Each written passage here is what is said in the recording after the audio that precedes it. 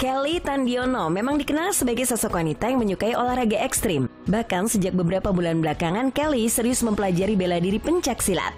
Dan kemarin secara eksklusif, tim Entertainment News pun berkesempatan untuk menyaksikan sesi latihan Kelly Tandiono.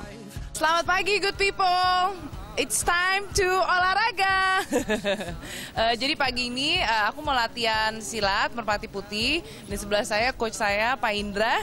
Uh, Pak, jadi hari ini uh, kita akan latihan apa aja nih? Ya seperti biasa yang sudah sudah dilakukan itu uh, dimulai dari stretching ya, warming up. Uh, selanjutnya kita pengerasan, uh, olah nafas uh, dari teknik-teknik nafas pengolahan dan pembinaan penyembuhan. Alright, go people, uh, ikutin terus ya uh, aktivitas hari ini.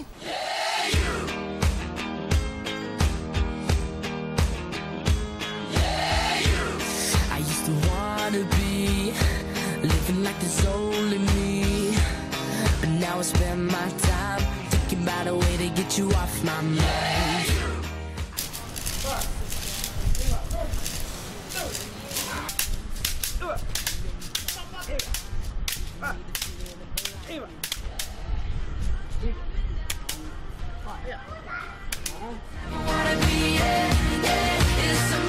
Jadi kita aja baru selesai uh, pemanasan dan uh, tadi uh, pengerasan uh, dan penyembuhan juga teknik penyembuhan. Uh, oh sama teknik silat tadi. Uh. Jadi uh, kan aku udah mau uji coba di bulan ini. Jadi coba Pak Indra tolong jelaskan apa yang akan kita lakukan sekarang. Ini uh, Mbak Kelly dalam masa latihannya saya pikir sudah cukup untuk melakukan uji coba. Maka hari ini uh, saya ingin mengetes kemampuan dan kekuatannya Mbak Kelly untuk pemataan dragon R1. Ini besi. Asli. Diperagakan dengan pemukulan tangan serangan sabetan. Sabetan, namanya sabetan. Ini dia pengerasan tadi. Tadi. kaki dilakukan dengan teknik tendangan sabit. Ini serut bambu. Ada 50 lidi, serutan bambu. Ya inilah mainan kami ya, fasilitasi latihan tuh salah satunya ini nanti ada halter sesuai dengan tingkatannya. Ini aku belum pernah nih, jadi uh, yaudah kita lihat aja deh nanti ya. gimana jadinya.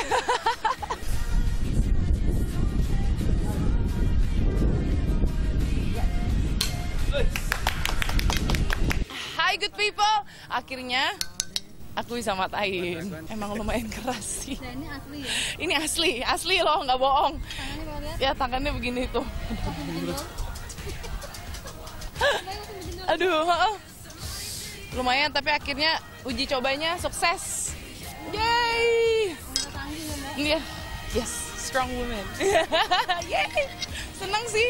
Kita selama tiga bulan uh, udah berarti terus uh, setiap minggu dan ada hasilnya.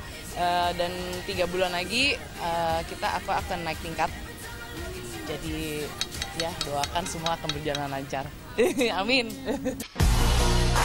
Meski menyebabkan memar di beberapa bagian tubuhnya, namun Kelly tidak pernah menyesal untuk belajar bela diri. Lantaran Kelly memiliki alasannya tersendiri.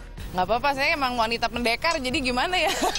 Karena emang dari kecil suka olahraga yang ekstrim gitu, jadi emang udah bawaannya dari kecil. Jadi emang saya cari sport yang selalu ada adrenalin tinggi gitu. Uh, dan MP salah satunya. Bukan hanya adrenalin, tapi aku juga bisa belajar pernafasan dan belajar tenaga dalam dan kepakaan di surrounding. Makanya aku uh, senang banget bisa latihan terus. Iya untuk menjaga dan sebagai wanita juga kalau kita tahu bela diri pun juga pasti lebih bagus sih. Melihat progres kemampuan silat Kelly yang sangat pesat, lalu adakah tips yang ingin Kelly bagi untuk good people yang berminat belajar pencak silat? Untuk awalnya pasti kita harus disiplin ya, gitu. Jadi uh, jangan males bangun pagi uh, dan kita juga misalnya uh, istirahat juga harus cukup, makan juga harus dijaga sih gitu.